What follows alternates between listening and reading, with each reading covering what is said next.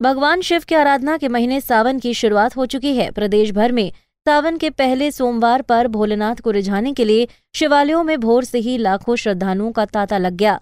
सभी ने शिव को प्रसन्न करने के लिए उन्हें अत्यंत प्रिय भाँग धतूरा चढ़ाकर अपनी मुरादों की अर्जी लगाई। भोले की भक्ति का ये नज़ारा देश के हर शिवालय में देखने को मिला। शिव की नगरी वाराणसी के घाटों पर सुबह से ही श्रद्धालुओं ने स्नान किया। इस मौके पर दूर दूर से कावड़िए भगवान शिव के दर्शन के लिए काशी पहुँचे। न केवल पूर्वांचल, बल्कि देश और विदेश के कोने कोने से भी शिव भक्त बाबा काशी विश्वनाथ के दर्शन के लिए जुट गए। बाबा काशी विश्वनाथ के दर्शन के लिए कावड़ियाँ देर रात से ही गंगा स्नान करके विश्वनाथ के दर्शन के लिए कतार में लगे रहे। इस दौरान फिजाओं में हर हर महादेव किनारों की गूंज चारों ओर सुनाई दी। पूरी काशी नगरी शिवमय हो गई। अनुमान लगाया जा रहा है कि सावन के पहले सोमवार लगभग दो लाख से ज़्यादा दर्शनार्थी बाबा काशी विश्वनाथ का दर्शन करेंगे। वहीं श्रद्धालुओं के मुताबिक भगवान को जल चढ़ाने से सभी मनोकामनाएँ जल्द पूरी होती हैं। हम जलालपुर से आ रहे हैं। बाबा महादेव के चरणों में जा रहे हैं सर। इतनी दिक्कत तकलीफ़ झेल के आ रहे हैं। सोमवार है बाबा का जलाभिषेक करेंगे सावन का पहला सोमवार है। बाबा का पहला सोमवार रहे हैं उनके श्रद्धा से छल दल से हम लोग अरे पैदल चल के वहाँ से आते हैं रामेश्वर से। अब बाबा के चरणों पर नमस्कार करते हैं हम लोग सोमवार को जला अभिषेक करते हैं सर। माँ गंगे से उठाते हैं, बाबा धाम लाते हैं काशी। इस बार हम लोगों ने पूरे श्रावण मास के जो भक्त हैं, उनकी व्यवस्था को बहुत चुस्त, दुरुस्त रखा है।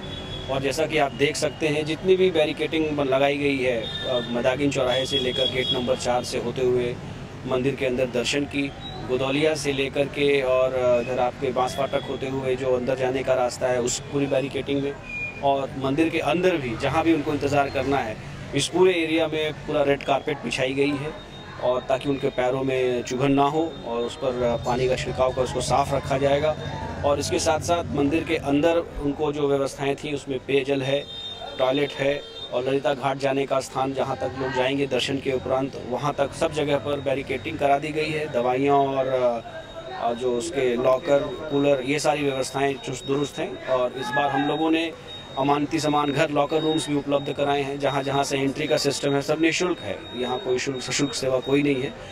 उधर भगवान कृष्ण की नगरी मथुरा में भी शिव के दर्शन के लिए श्रद्धालुओं का सैलाब उमड़ पड़ा।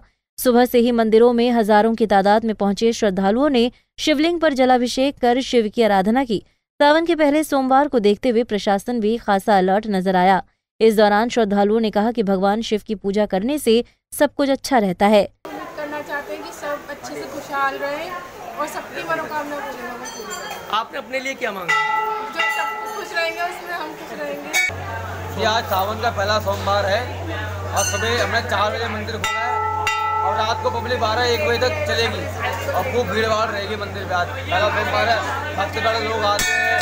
सबकी मनोकामना पूर्ण होती हैं। और दादा से पब्लिक आती है यहाँ भक्तगढ़ बहुत आते हैं। भगवान शंकर के अनेकों रूप के धाम प्रयागराज में श्रद्धा और जोश के साथ सावन के पहले सोमवार को भक्तों का शिव मंदिरों में जमावड़ा देखने को मिला। इस मौके पर प्रयागराज के शिव मंदिरों में श्रद्धालुओं का सैलाब उमड़ पड़ा। श्रद्धालु ने भोलेनाथ को जलाभिषेक और रुद्राभिषेक किया। शहर के ऐतिहासिक सोमेश्वर धाम मंदिर में भक्तों का तांता सुबह से ही देखने को मिला और लोगों ने भोलेनाथ की आराधना कर मन की मुराद को पूरी करने की कामना की। आज श्रावण सोमवार का पहला सोमवार है, जो कि काफ़ी मान्यताएँ हैं इस मंदिर के विषय में, काफ़ी प्राचीन मंदिर है।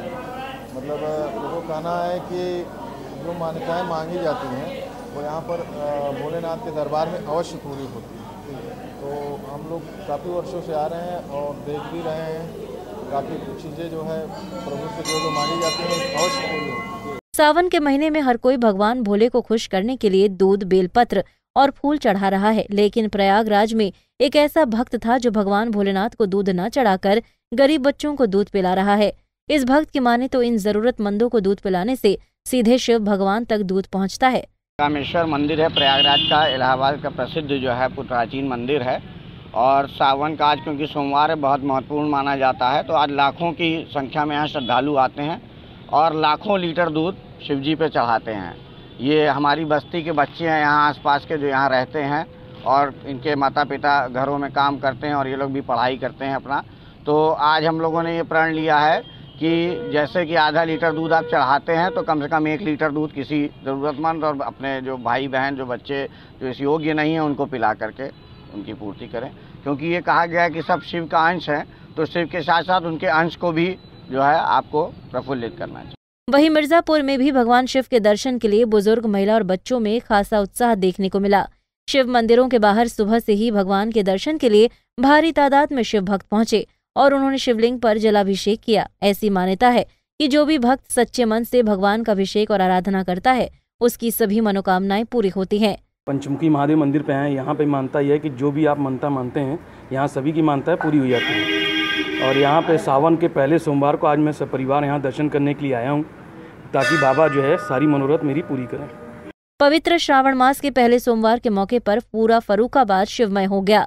शिव आस्था के लिए ऐतिहासिक शिवालयों में सुबह से भोले के भक्तों का तांता लगा है। भक्त भोले बाबा को अपनी भक्ति से प्रसन्न करने के लिए उनका जलाभिषेक कर रहे हैं। साथ ही भोले को पुष्प, बेलपत्र और धतूरा अर्पित कर रहे हैं।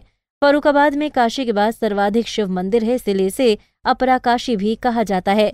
मैं यहाँ से, मैं यहाँ पिछले छः साल से आ रहा हूँ और मेरी मनोकामना बस यही है कि बाबा का प्यार पाना और उनसे प्रेम करना। सभी लोग आते हैं अपनी अपनी मनोकामना पूरी लेके लेकिन हम आते हैं सिर्फ़ बाबा को प्यार करने के लिए। और उनकी सेवा मिलने के लिए। और वो इतने अच्छे हैं कि मतलब जिनसे उन्हें अपनी सेवा करानी होती है, वो कराई कराई लेते हैं। बहुत ही मतलब भोले, उनका नाम ही भोले है, इसीलिए वो भोले भंडारी हैं। भोलेनाथ का मह माने जाने वाला सावन में रामनगरी विश्वमय हो गई। सरयू घाटों से लेकर नागेश्वर नाथ भदेश्वर नाथ सहित प्रमुख मंदिरों में शिव भक्तों का तांता लगा हुआ है। राम की नगरी अयोध्या में चारों तरफ़ बम बम भोले और बोल बम के नारे गूंज रहे हैं। राम की नगरी अयोध्या में इन दिनों श्रद्धा उफान पर है। आम भक्तों के साथ ही केसरिया रंग में रंगे कावड़िया, पावन सलीला सरयू से ले जाकर अपने आराध्य भोलेनाथ को जलाभिषेक करने के लिए राम की नगरी अयोध्या में पहुँच रहे हैं।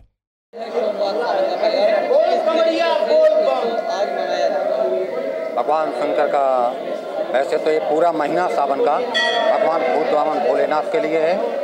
और भगवान नागेश्वर महाराज जो यहाँ विराजमान है, एक द्वादश ज्योतिर्लिंगों में से एक है। तो इनका पूजन ये भगवान क्या है? नागेश्वर, जो अपने सर पर नागों को धारण करते हैं, उन्हीं का नाम नागेश्वर है।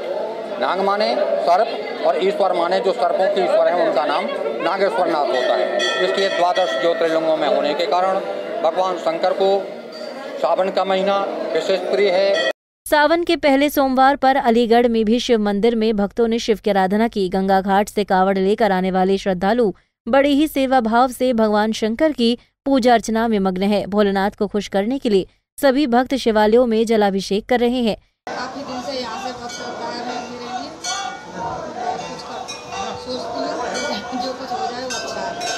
कितने टाइम से आप जलाभिषेक करने आ रही हैं? ऐसी मान्यता है कि सावन के महीने में ही समुद्र मंथन से निकले विष का पान कर भोलेनाथ ने पूरी दुनिया को बचाया था, जिसके चलते भोलेनाथ को शीतलता चाहिए। इसी मान्यता को लेकर सावन के महीने में श्रद्धालु भोलेनाथ का जलाभिषेक करते हैं। लोगों की ऐसी आस्था है कि सावन माह में भोलेनाथ को जल चढ़ाने से जीवन के कष्टों से मुक्ति मिलती है। Bureau report, Punjab Kesari TV.